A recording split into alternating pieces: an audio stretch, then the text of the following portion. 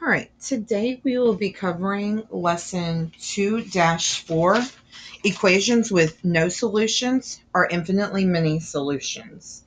Today's lesson will be chunked into three separate sections. The first section we will be covering is lesson 1 2.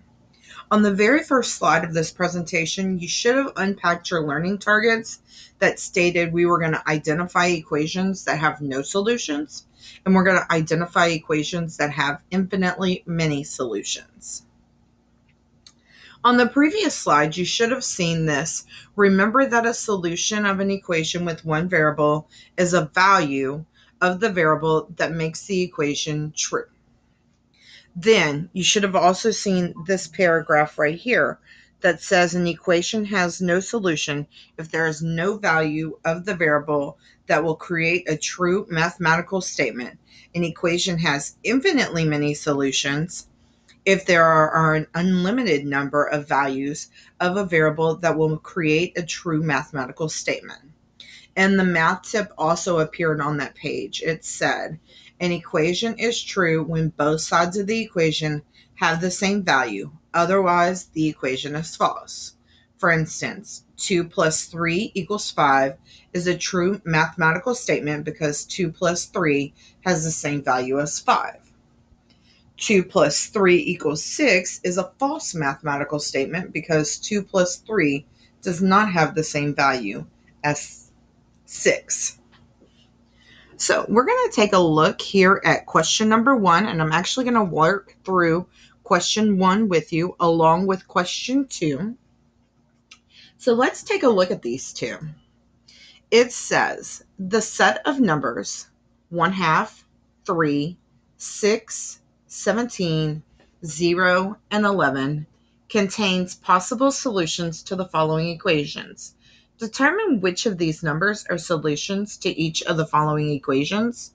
I'm actually going to work this on a separate piece of paper because I can see that I will not have enough room to try all of these. So we're going to start with letter A. Letter A says 9x plus 5 equals 4 parentheses x plus 2 plus 5x. And the solution set that it gave me was 1 half, 3, 6, 17, 0, and 11. And basically what it's asking me to do is it's asking me to try each one of these to see which one of these makes the equations true. So we're going to start off by plugging in 1 half for my x values.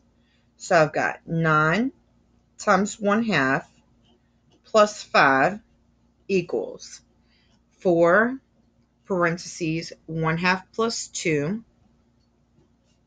plus 5 times 1 half. Well, 9 times 1 half is 4 and a half and four and a half plus five is nine and a half. So I got nine and a half on the left hand side. Let's take a look to see what the right hand side simplifies to. We've got four parentheses one, sorry, one half plus two. So that's four times two and a half. And we've got five times a half is two and a half. Well, I need to know what 4 times 2 and a half is. 4 times 2 and a half is going to be 10. So I've got 10 plus 2 and a half. Well, 9 and a half equals 12 and a half. True statement hopefully we say that's a no. So this would be false. So I know that the answer is not half. Let's take a look at the next one. Let's plug in 3. So we've got 9 times 3 plus 5 equals 4 parentheses 3 plus 2 plus 5 times 3. Well, 9 times 3 is 27 plus 5. 27 plus 5 is 32. Here I have 4 parentheses 5 plus 15. Well, 4 times 5 is 20, and 20 plus 15 is 35, and 32 does not equal 35. So again, false.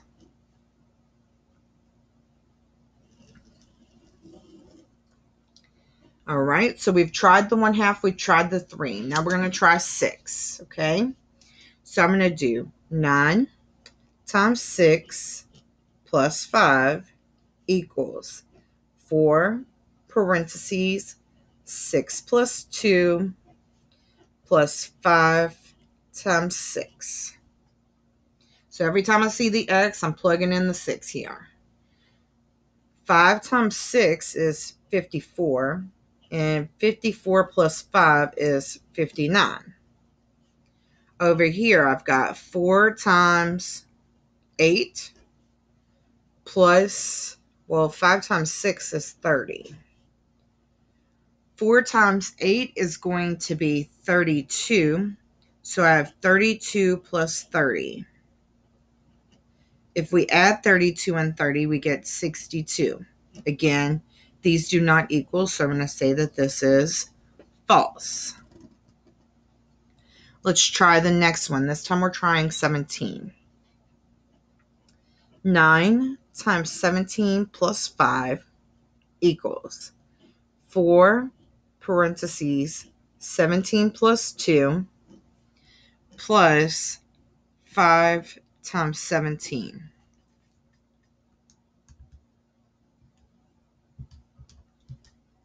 Nine times 17 is 153, and I did do that in the calculator. And we're going to add 5 to that, that's 158. On the right-hand side, I'm going to say 17 plus 2 is 19, so I'm going to do 4 times 19. Then I'm going to do 5 times 17 is 85. Well, what's 4 times 19? Let's find out. That's going to be 76. So I've got 76 plus 85. So 158 equals 76 plus 85 is going to be 161. Those do not equal. So again, another false statement.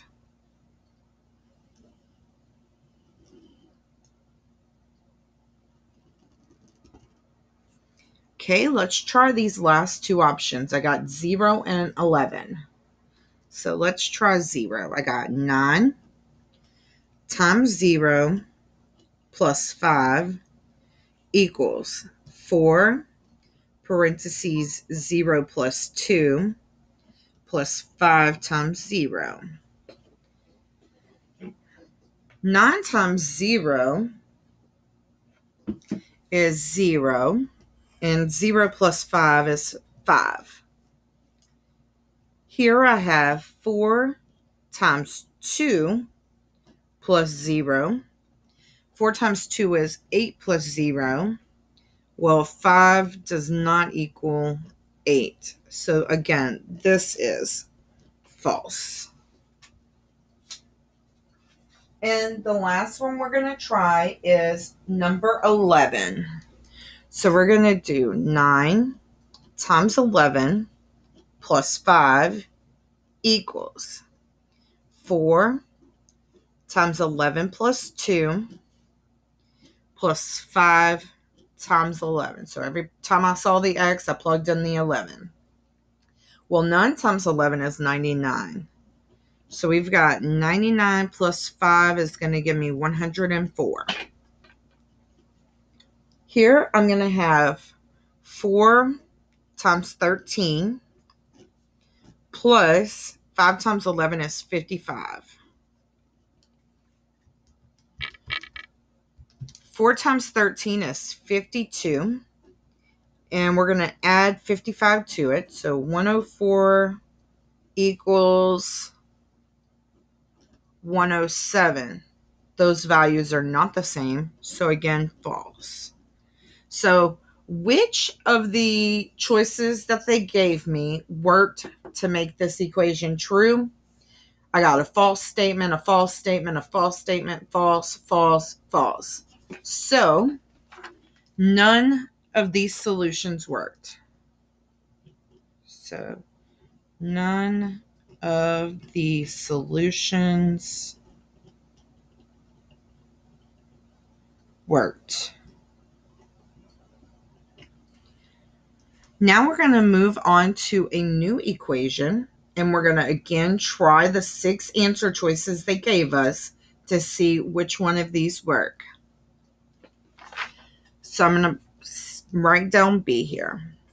B states 7x minus 10 equals 3x plus 14. All right. Now recall our numbers from earlier. We're going to try in 1 half, 3, 6, 17, 0, and 11. Okay. So I'm going to start off with my 1 half. I got 7 times 1 half minus 10 equals 3 times 1 half plus 14. Well, 7 times 1 half is 3 and a half minus 10.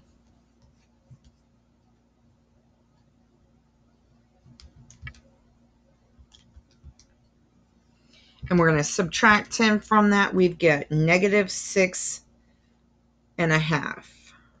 Sorry, I didn't mean to go changing that on you. It's negative 6 and a half. Let's take a look over here. 3 and a half, or sorry, 3 times a half is 1 and a half. And we're going to add 14 to that. So 1.5 plus 14 is going to give me 15 and a half. Clearly, those values do not equal each other, so we're starting off again like we ended the last one with another false statement. Let's plug in 3 here. We've got 7 times 3 minus 10 equals 3 times 3 plus 14. Well, 7 times 3 is 21, and 21 minus 10 is 11. Here I've got uh, 3 times 3 is 9, and 9 plus 14 equals 23. Those do not equal. This is another false statement. All right, let's try the 6. 7 times 6 minus 10 equals 3 times 6 plus 14. 7 times 6 is 42. 42 minus 10 is 32. On this side, we're going to have 3 times 6 is 18. 18 plus 14 is 32. True. Oh, finally. That's the first true we've come up to. Let's see if any of these other values work.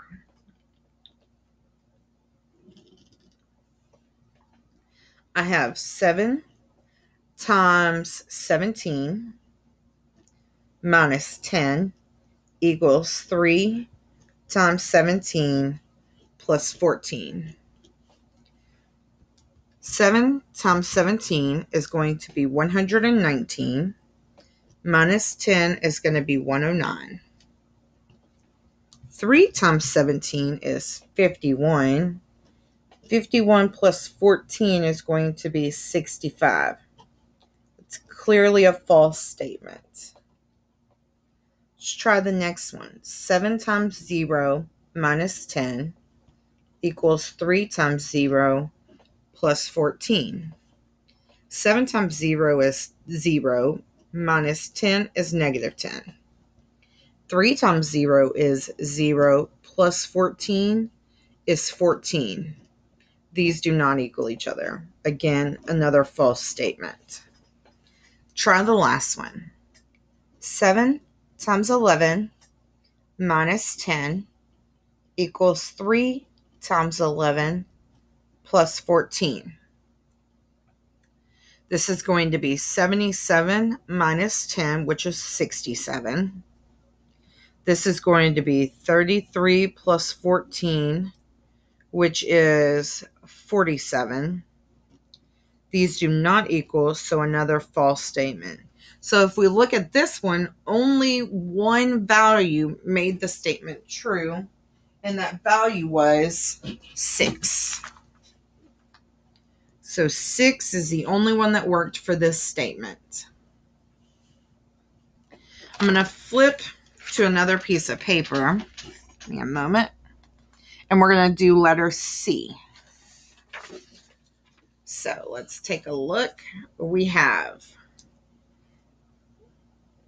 C. 3x minus 12 equals 3 x plus 1 minus 15. And we're going to try again. 1 half 3, 6, 17, 0, and 11. So here we go. 3 times 1 half minus 12 equals 3 times 1 half plus 1 minus 15. Well, 3 times 1 half is going to be one and a half. And one and a half minus 12 is going to be negative 10 and a half.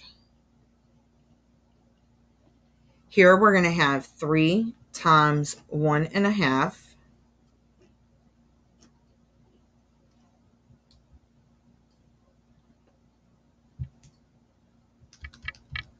That's going to be 4 and a half minus 15. So I got negative 10 and a half equals negative 10 and a half. True statement. Hmm. Okay. Let's see what else works. 3 times 3 minus 12 equals 3 times 3 plus 1 minus 15. 3 times 3 is 9, and 9 minus 12 is negative 3. Here we're going to simplify our parentheses, so I got 3 times 4 minus 15. Well, 3 times 4 is 12, and 12 minus 15 is negative 3. Another true statement.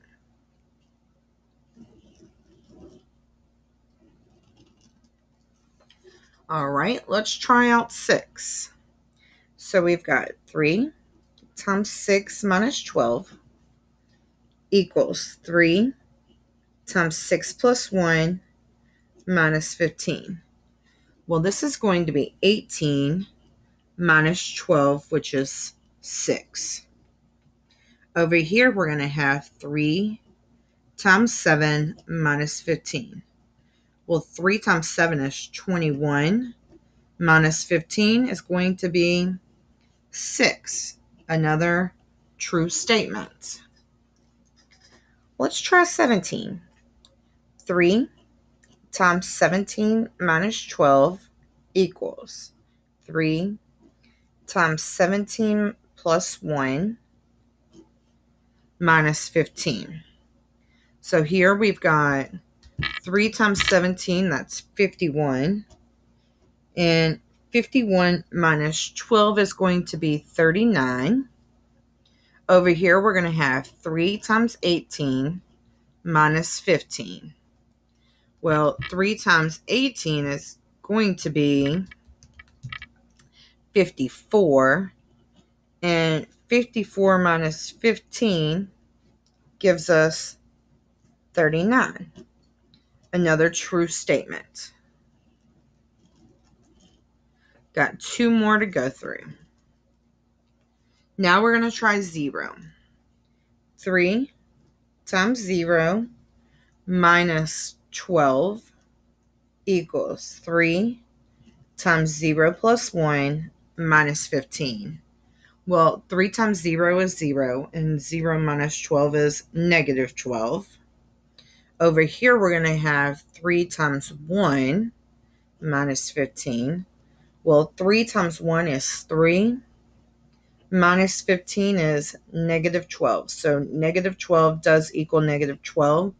That's a true statement. Lastly, we're going to try out 11. 3 times 11 minus 12 equals 3 times 11 plus 1 minus 15. This is going to give me 33 minus 12. That's going to be 21. Here we're going to have 3 times 12 minus 15. 3 times 12 is going to be 36. 36 minus 15 is going to be 21. So 21 equals 21 is a true statement. So this time we're going to have one half that works, three that works, six that works, 17 that works, zero works, 11 works. So here, all of the solutions that were given work.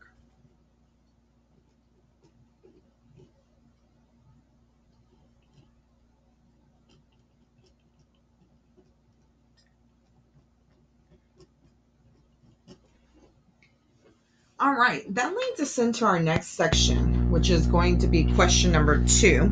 We're still in section one, but this time we're just covering this bottom part. This bottom part says that Laura, Nia, and Leo solved the following three equations as shown. Identify each of the equations as having a one solution, no solution, or infinitely many solutions, and justify your answers.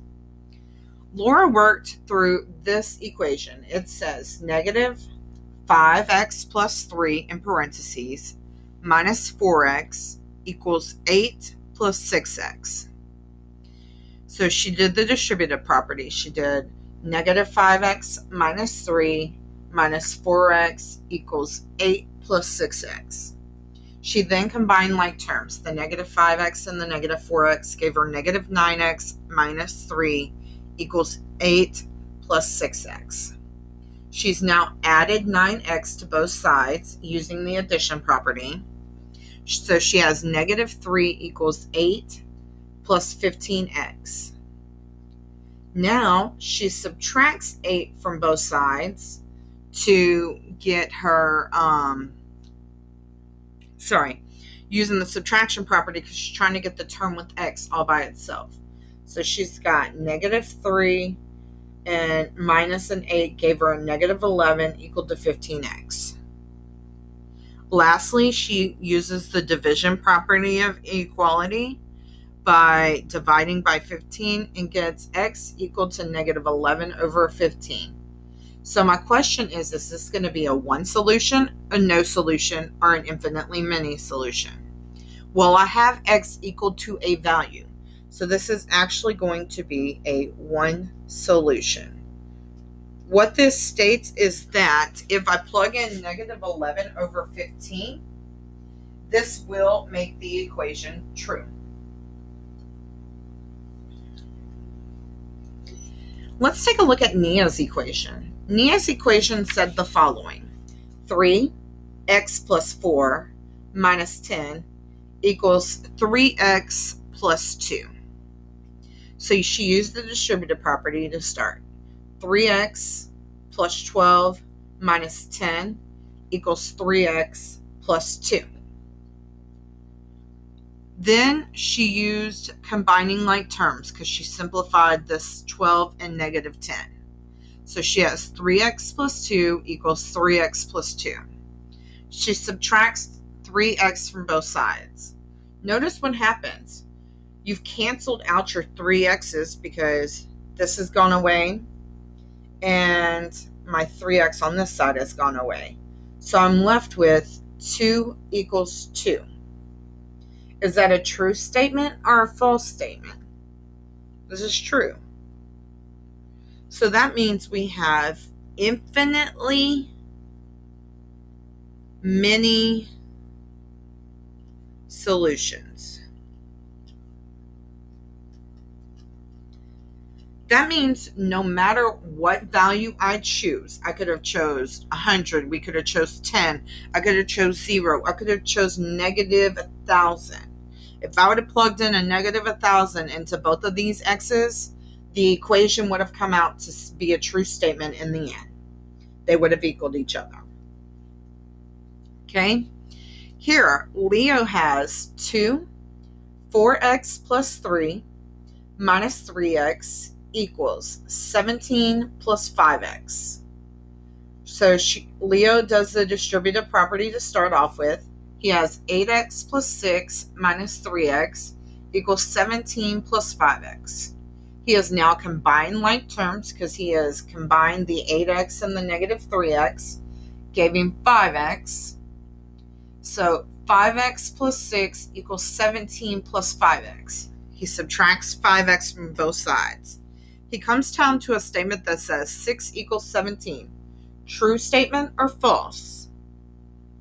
That's a false statement. So this leads us to a no solution.